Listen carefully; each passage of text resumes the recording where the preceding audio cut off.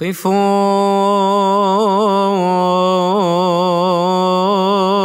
بمخافة الله وانصتوا بحكمة لسماع الإنجيل المقدس. فصل من بشارة معلمنا مار يوحنا البشير. بركاته على جميعنا. من مزامير أبينا داود النبي والملكي بركاته على جميعنا.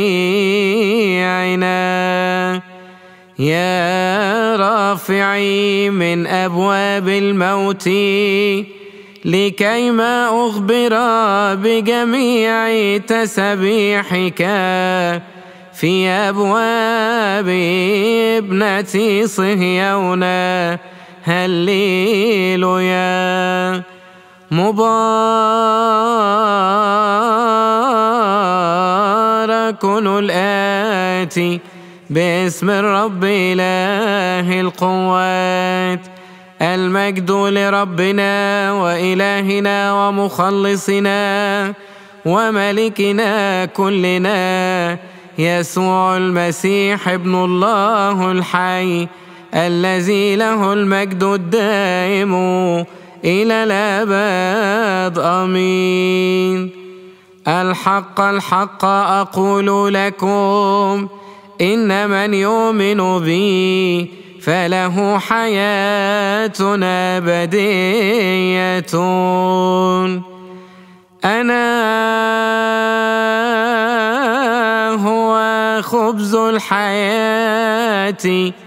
آباؤكم أكلوا المنا في البرية وماتوا.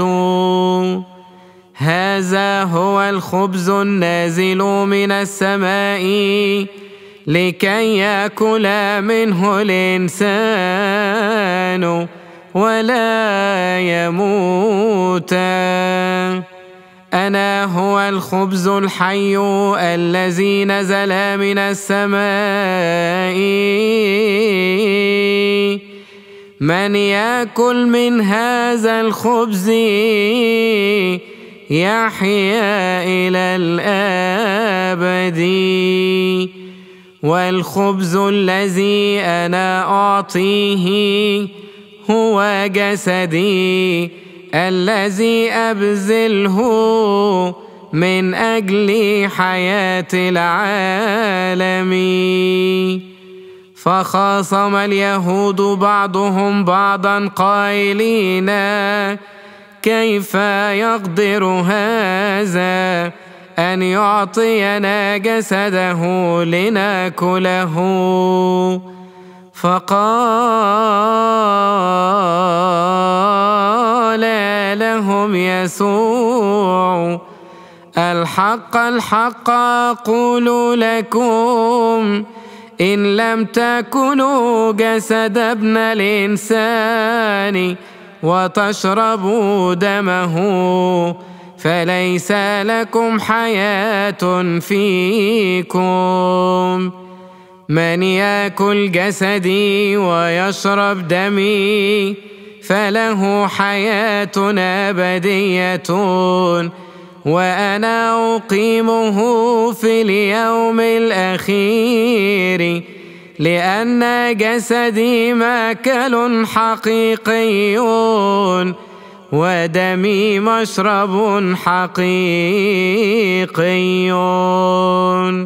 من ياكل جسدي ويشرب دمي يثبت فيا وأنا فيه. كما أرسلني أبي الحي وأنا أيضا حي بالآب فمن ياكلني فهو يحيا بي. هذا هو الخبز الذي نزل من السماء. ليس كما أكل آباؤكم المنا في البريه وماتوا. من يأكل هذا الخبز فإنه يحيا. إلى الأبد.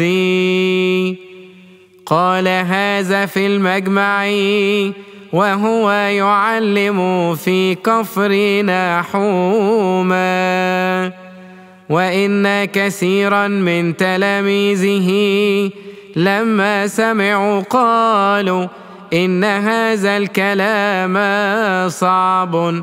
من يستطيع سماعه فعلم يسوع في نفسه أن تلاميذه يتذمرون من هذا فقال لهم أهذا يعسركم فكيف إذا رأيتم ابن الإنسان صاعدا إلى حيث كان أولا؟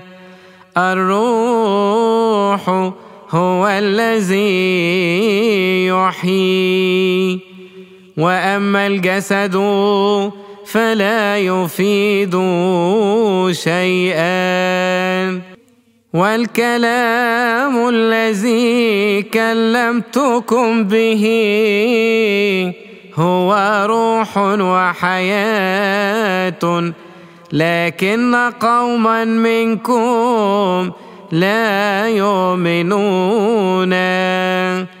لأن يسوع كان عارفا منذ الابتداء من هم الذين لا يؤمنون ومن هو الذي سيسلمه؟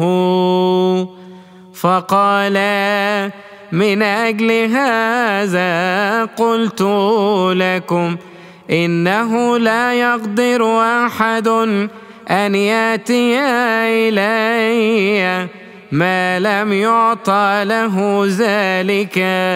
من الآب.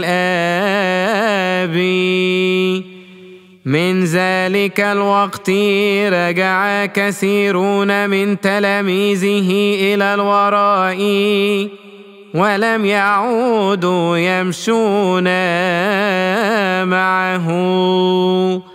فقال يسوع للاثني عشر ألعلكم أنتم أيضا تريدون أن تمضوا؟ فأجابه سمعان بطرس يا رب إلى من نذهب؟ إن كلام الحياة الأبدية هو عندك وقد آمنا نحن وعرفنا أنك أنت المسيح ابن الله الحي. فأجابهم يسوع ألم أكن أنا اخترتكم أنتم الاثني عشرا وواحد منكم هو شيطان.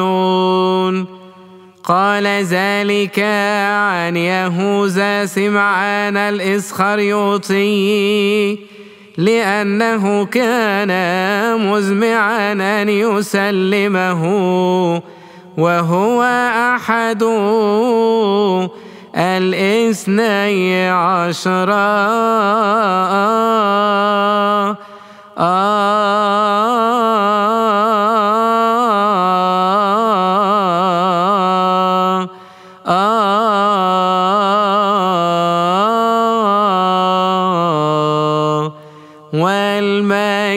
لله داء.